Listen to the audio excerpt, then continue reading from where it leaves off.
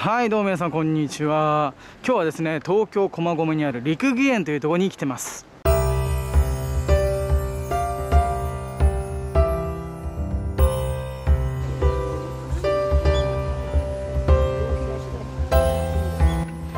えーと、駒込駅から降りてすぐですね本当に、あのー、書いてあるんで案内口にどういうふうに行きますっていうのはで降りてもすぐです。歩いて 300m ぐらい。で入り口があの辺なんですけどまあ入るのに300円かかります。1人300円ですね。ではちょっと今日初めてなんでちょっとワクワクしてますけどどんな感じか見に行きたいと思います。またマイク忘れちゃったよ。持ってくれよかったよ。結構ねやっぱ人が多い。今日日曜日なんですけど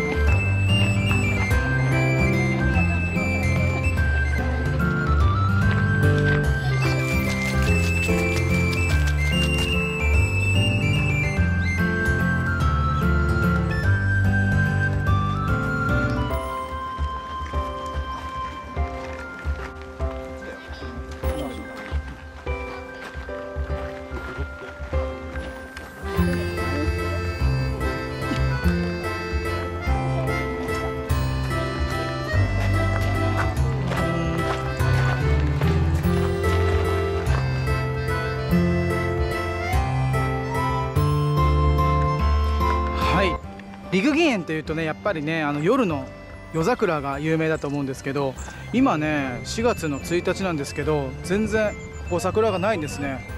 あれ？おかしいなと今思ってる状況です。花粉が花粉がやばいです。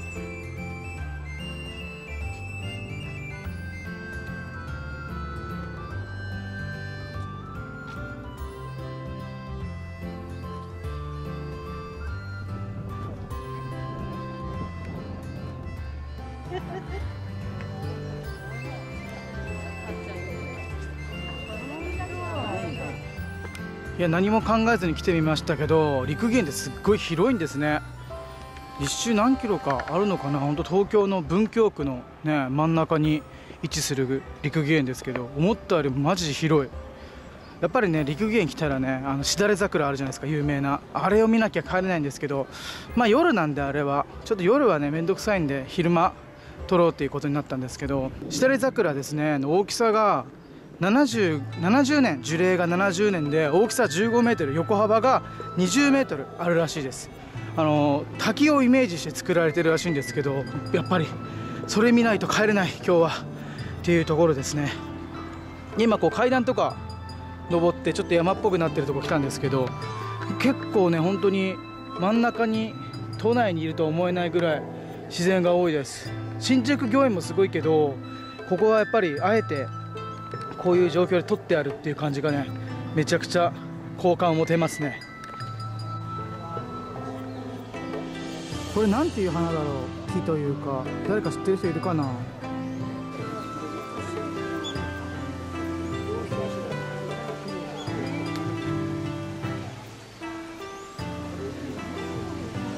ちょっと行ってみましょう。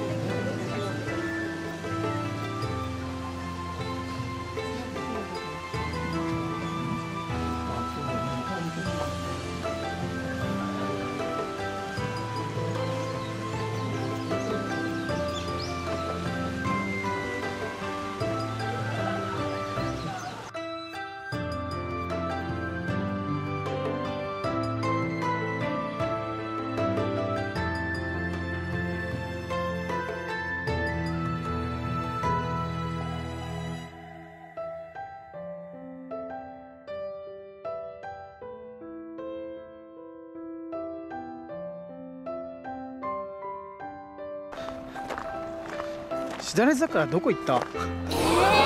全然ないんだけどどこ探しても。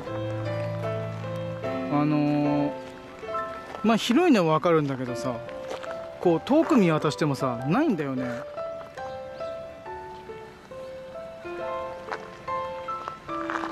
ないでしょ。ないんですよ。まだね。言ったってほら。まだあるから時間は。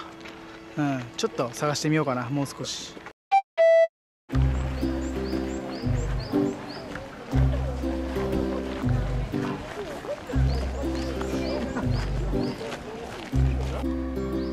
新鮮亭抹茶流し付き510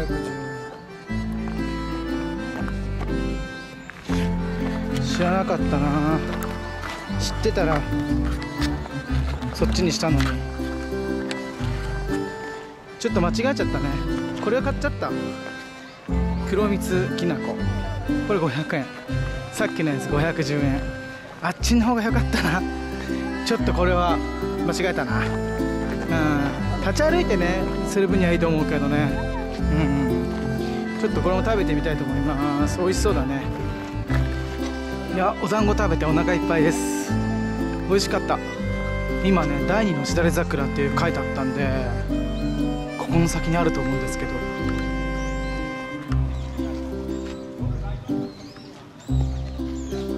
なんだあれ？なんだこれ？花と桜の木が生桜に彩られたしだれ桜なんてなかった気がするんだけど恐竜がいる。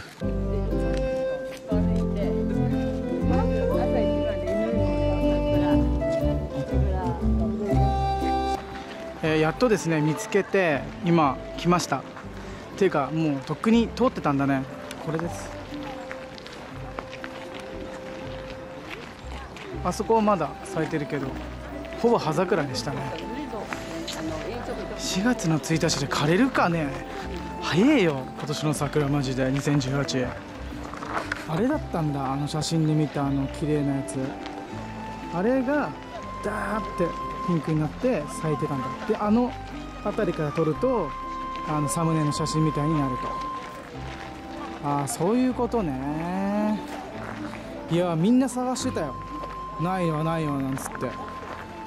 そりゃそうだよね。ないんだから。あ何あの井戸何これ。不思議な井戸があるんだけど。行ってみたい。何あれ。確実にあれ出てくるっしょ。怖っ。ちょっと時間なくなっちゃったんで充電の。今日はこの辺で。さよならさよならっきをしたいと思います。じゃあまた。もしね機会があったら陸源来てみてください。3月の3月のまあ後半ぐらいですかね。がいいかなっていう感じです。あとはもう時期によるっていう感じです。じゃあねまたね。